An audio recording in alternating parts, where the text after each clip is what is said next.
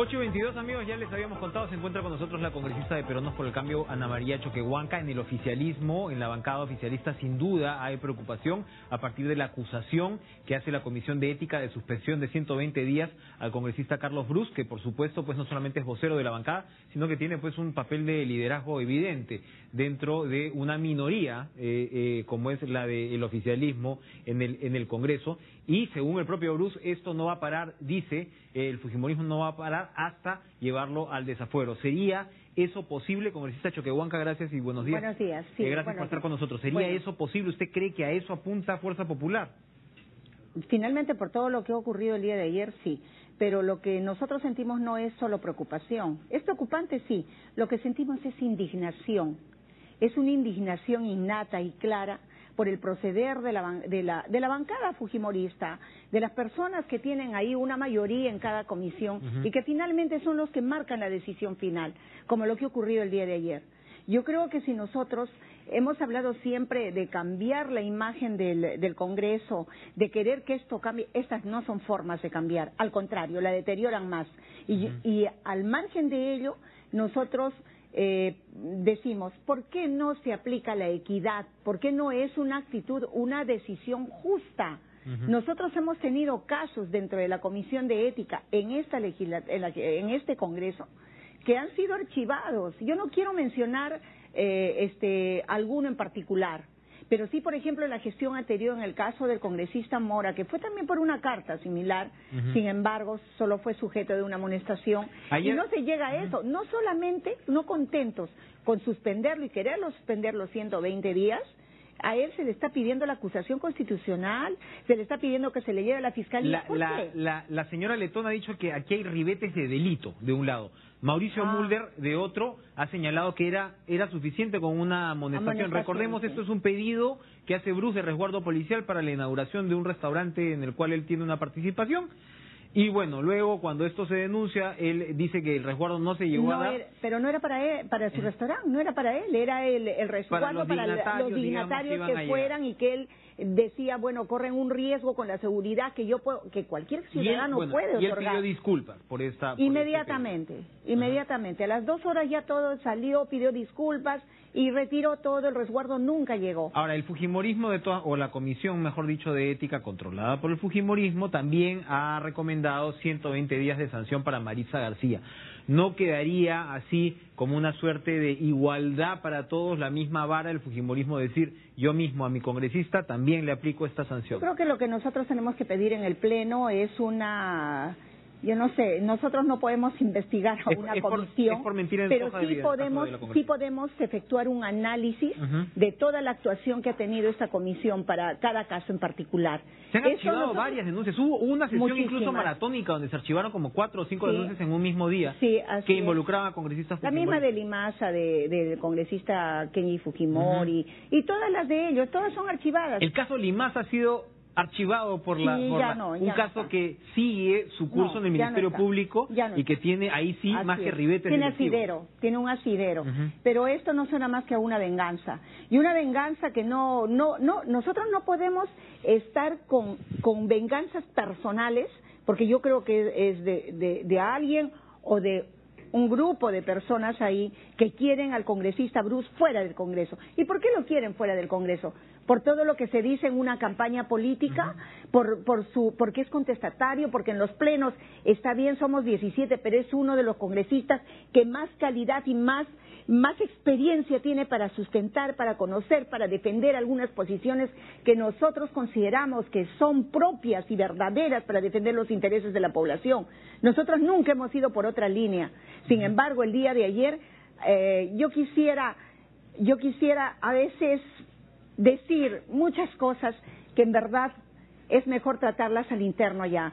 Pero definitivamente ayer, por ejemplo, hay una congresista que llega dos minutos antes solo para la votación y una congresista que en realidad no debería haber estado allá el día de ayer, pero que sin embargo fue llamada solamente para la votación. Eso no es justo, eso no es dable, eso no es transparente y ojalá que podamos seguir actuando con transparencia, no diciéndola, sino haciéndola Le, repito la primera pregunta. ¿Usted cree que, el, que la intención del Fujimorismo, como lo están viendo, es llegar a desaforar a Bruce, sacar a Bruce del Parlamento? Yo creo que ese es el objetivo final. Si no, no hay otra. ¿Por qué mandarlo a la Fiscalía? ¿Por qué mandarlo a acusaciones constitucionales? ¿Qué es lo que ha hecho el congresista Bruce? Una carta donde pide seguridad, ya, no se le entiende, ok, amonestación. y, y, posteriormente, pues ya, si es que él vuelve a reincidir o qué sé yo. Pero eso, eso es algo más chiquito, eso es algo menor. Eso es solamente un punto de ahí, ahí, vulnerable a eso, ahí lo agarramos. ¿Por qué? Nosotros necesitaríamos que ellos nos digan por qué están actuando así. La Comisión de Ética no puede servir a los intereses de un grupo de personas en el Congreso, de ninguna manera. Las comisiones tienen que estar al servicio del país, no al servicio de un grupo que hoy tiene una votación por mayoría y que puede hacer y deshacer. Ayer yo viví esto en la Comisión de Comercio Exterior y se ven en muchas comisiones. ¿Qué cosa ocurrió en la Comisión de Comercio Por ejemplo, en la Comisión de Comercio Exterior nosotros, este, eh, bueno, yo presenté una ley para el tema de los circuitos turísticos integrados, donde hubiera una participación de los tres niveles de gobierno, nacional, regional y local. ¿Qué es lo que debe hacer para evitar centralismo, para eso? Eh, lamentablemente, pues ellos no lo entendieron y dijeron, no, eso no pasa y punto y no pasa. ¿Pero por qué no pasa? Fundamento, ¿por qué no pasa? Nunca hubo un fundamento, simplemente este es mi fundamento. Levanto la mano y digo, se fue. No importa, porque congresistas como yo sabemos defender esas posiciones en un ángulo o en el otro. Yo no soy perdedor. A mí me gusta luchar hasta el final. Eso es aparte, es, solamente pero una... Está, está haciendo entonces, usted diría así, porque mucho se ha reflexionado sobre el papel eh, del Fujimorismo, la relación que iba a tener el Fujimorismo con el, con el Ejecutivo, lo que el Fujimorismo debía hacer para olvidar eh, una, historia, una historia que conmemoramos mañana con los 25 años del, del, autogolpe. ¿Usted diría entonces que a estas alturas el Fujimorismo sí juega ya abiertamente un papel obstruccionista?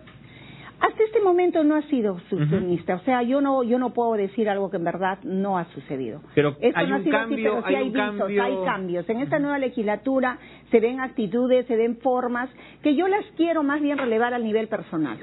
Ojalá, yo, yo quiero, quiero creer que esto es cuestión de personas y no de partidos. ¿Cuánto pesa el argumento al que se refiere Bruce de cierto conservadurismo? Bruce no es ningún secreto, Bruce es, abiertamente homosexual. Él ha promovido eh, eh, fórmulas eh, legislativas desde antes de Unión Civil y demás, ahora con Alberto de Belaunde, y él lo que sostiene es que dentro del fujimorismo hay un sector ultraconservador que también quisiera verlo fuera. ¿Hay una confluencia ahí de intereses o, digamos, esto no tiene tanto peso? Eso es muy delicado, la verdad no lo sé. No lo sé, pero ahí tenemos también el tema de los odalicios, ¿no? O sea, sí es cierto que, que, tenemos nosotros discrepancias. Una controversia con el propio Kenji pero, Claro, pero no, no, no, no discrepancias o controversias que pueden llegar a ser, digamos, no, no, no consensuar, no llegar a consensuar pero sí se encuentran situaciones como esta donde queremos, por donde metemos la cabeza, queremos sacar el cuerpo. Así no es. Este es el Congreso de la República. En este Congreso nosotros tenemos que tener gestos, actitudes, comportamientos políticos que eleven el nivel de la clase política. Por Dios, el Perú necesita partidos políticos fortalecidos, pero con un espíritu verdadero de, objetivos claros de bienestar, de desarrollo, de equidad y de justicia. Eso es lo que no deben olvidar. Para terminar, congresista, dos puntos que, me imagino, si el, si el Fujimorismo está, según lo que me cuenta, enterrando ciertos eh, proyectos de ley y demás, sí hay dos puntos que, eh, eh, en los cuales ellos tienen el mango de la sartén. Uno es este proyecto que se ha llamado de control de medios, ¿no? que se ha dicho que hay una injerencia al momento de impedir que sentenciados, en fin, eran sentenciados e investigados por corrupción, ahora dice que solamente sentenciados puedan ocupar cargos relevantes en medios. Y el otro es el de la reelección de alcaldes, que también va a requerir dos legislaturas. ¿Cómo está la temperatura en ambos casos? bueno, en primer lugar, en el de control de medios, nosotros somos claros. No control de medios en contenidos de información. Eso es lesivo. Nosotros no lo estamos, este, de ninguna manera estamos al lado de esa postura. Esto no puede suceder, no podemos retroceder, ¿no? Entonces, ese tema ni se toca. Ahí nosotros tenemos una posición muy clara. En el otro de la reelección, se hizo una ley y la ley va. ¿Y la ley por qué va? De acuerdo, mi opinión personal, porque las leyes no se hacen, le cuesta al erario nacional, eh, tiene, es un periodo de tiempo de, de, comisiones, dictámenes, debates. Ahora, los niveles de corrupción que han quedado demostrados en algunos alcaldes locales o en gobiernos regionales a través de la Contraloría, en todo el resultado que ellos hacen, existen procesos administrativos, existe corrupción o no existe. Entonces yo creo que aquí podemos hacer un paréntesis para, y eso sin alusiones personales a nadie. No correr para la próxima elección. Claro, o sea, aplicarlo ahora, análisis... poder hacer, hay, hay propuestas de que podrían ser seis años porque cuatro es muy poco, o solamente dar la, la posibilidad de que sean dos, una, una elección y una reelección. Ahí queda. Pero no 20 años, 25. Claro.